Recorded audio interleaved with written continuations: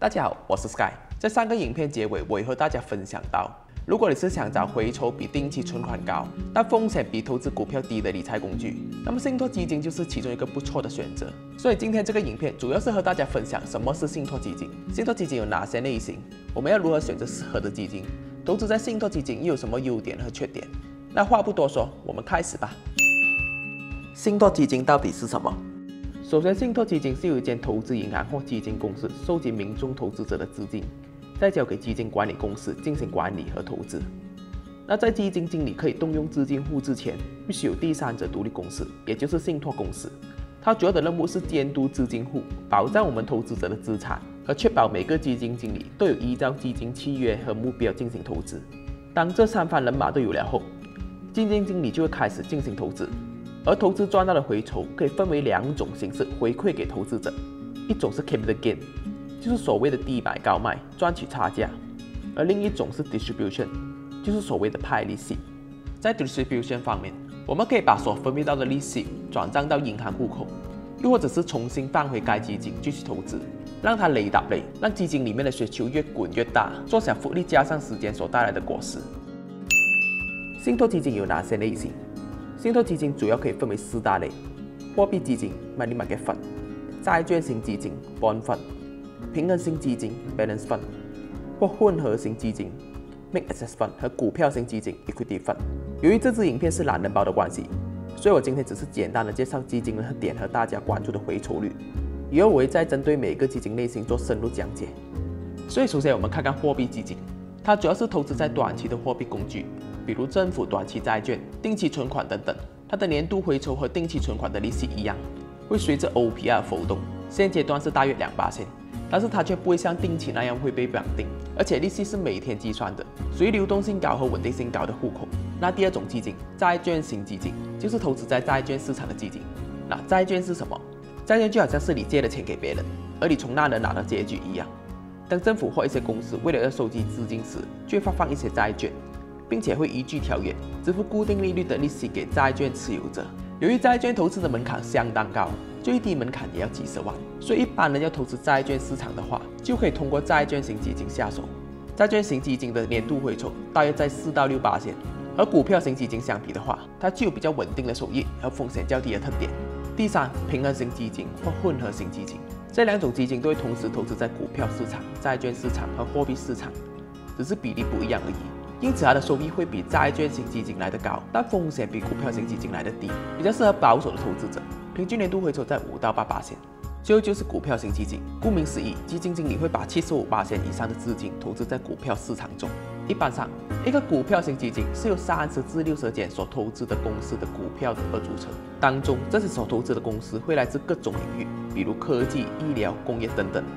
而且同一个基金也可以同时投资在本地和海外区，如美国、亚洲等等公司。这也意味着整个投资组合能够做到多元化。所以和投资在单一的股票做比较的话，它的风险会大量减低。以基金长期的表现做计算的话，它的平均年度回酬会在七到十一八线。我们要如何选择适合的基金？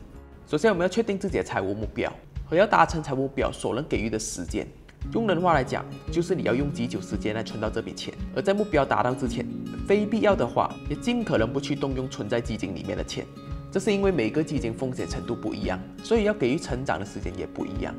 由最低风险到高风险的基金种类，就是货币型基金，到债券型基金，再到平衡型基金，最后到股票型基金。如果是一年内要用到的钱，不想因为被定期绑定，就可以放到货币型基金户口吃利息。比如像一年要给一次的开销，如保险、车险、所得税等等，又或者是每一两个月要用到钱，比如还信用卡的钱、汽车维修费等等，这些通通都能放在货币基金户口吃利息。而一到三年要用到的钱，属于短中期的规划，比如买车的投机钱、旅行的钱和紧急要用到的钱。紧急要用到钱，建议是我们每个月的固定开销，三到六个月来作为紧急备用金。这是因为万一我们失去了收入来源。最少我们也有这笔钱来应付我们三到六个月的开销。这些钱我们可以放在债券型基金，这是因为和定期户口做比较的话，它的流动性比较高，不会像定期那样在没到期之前提款的话，利息会没有掉，而且它的回抽也比定期高。至于三到五年要用到钱，属于中期的理财规划，比如买屋子的头期钱和装修费、结婚的钱等等。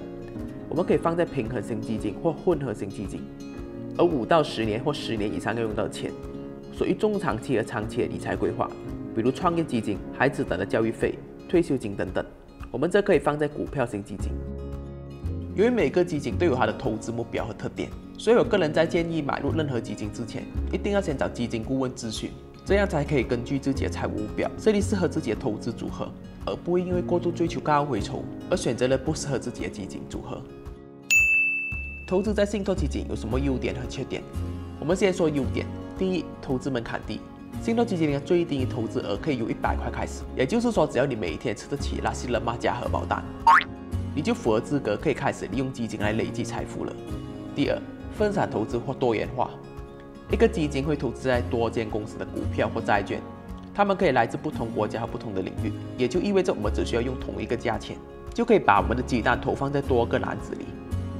如果当一间公司的股票或该行业领域表现不理想时，也不会对该基金的表现造成太大的冲击和影响。第三，高流动性，我们可以选择任何时间把基金单位卖掉套现。当我们要卖掉手上的基金单位时，基金公司就必须向我们买回。相对和债券、股票和产业来说，当投资者要卖时，就一定要有买家，不然就无法卖掉套现。第四，投资小白也可以开始，这是对于想投资但又缺乏股票金融知识，或者没有兴趣和懒惰做功课的人来说是最大的好处。因为你要掌握好一个领域，除了需要大量的时间学习研究，另外也需要花时间监督你所投资的公司股票价位等等。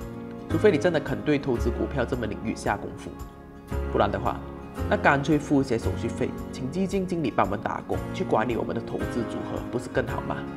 我们就把时间专注回在我们熟悉的领域里。讲完优点，我们又来看看投资在基金又有什么缺点。第一，分散回抽。这分散投资是同等的。假如基金里只是其中一间公司或领域表现好的话，不代表其他的领域或公司表现也是好。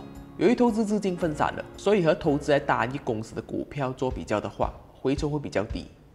第二，没有权利选择基金里的公司。是的，我们有权选择我们要讲的基金，但是一个基金里所投资的公司资金所投资的比例，这些全部都是由基金经理操控和做决定。但是这也符合逻辑，不然我们请专业人士来管理我们的投资组合干嘛？